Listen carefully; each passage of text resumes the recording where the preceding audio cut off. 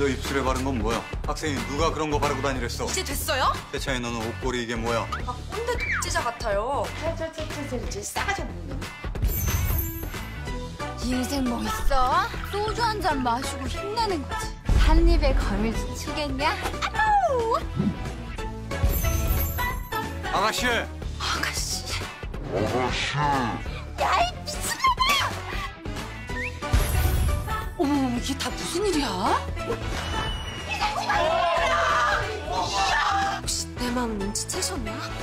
아이고 뭐 싸라 내가. 안녕하십니까. 박단단이라고 합니다.